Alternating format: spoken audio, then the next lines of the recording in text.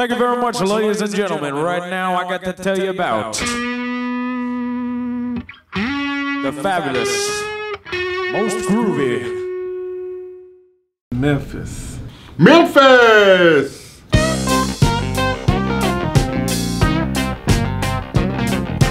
Listen to you move your mouth. I bet you come from way down south.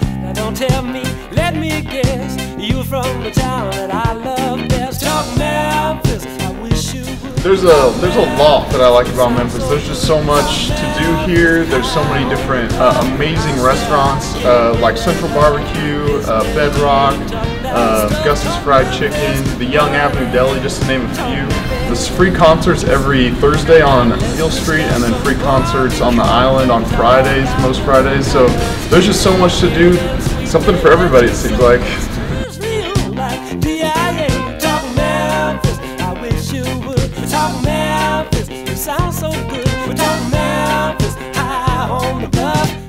I also like to go to Bedrock on the weekends, which is an all gluten-free restaurant, and um, eat some chicken and waffles there.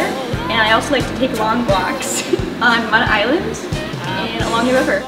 Blue suede shoes. I bet you know to Memphis too. Cross that bridge on just two wheels. I bet you know how good that feels. Talk Memphis. I wish you would. Talk Memphis. You sound so good. Some of my favorite things that I like to do is go to Rail Garden on the weekends. They usually have a really good blues band.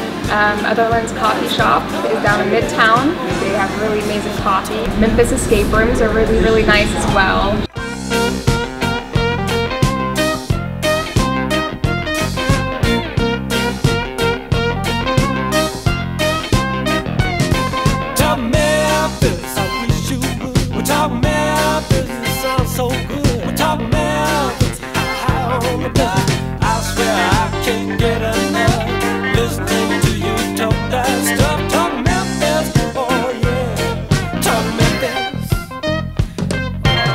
Me and my roommates are pretty divisive on Gus's world famous fried chicken versus Hattie B's, which is like Nashville hot chicken. the Memphis Zoo Mem Pops. I tried it the other day and now I'm in love. Go to the pyramid downtown, the Bass Pro Shop there.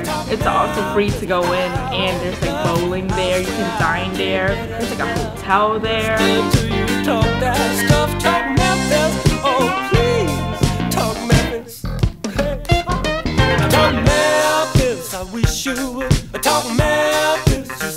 Good. Talk Memphis, high on the bluff. I Talk Memphis, and I can't get enough.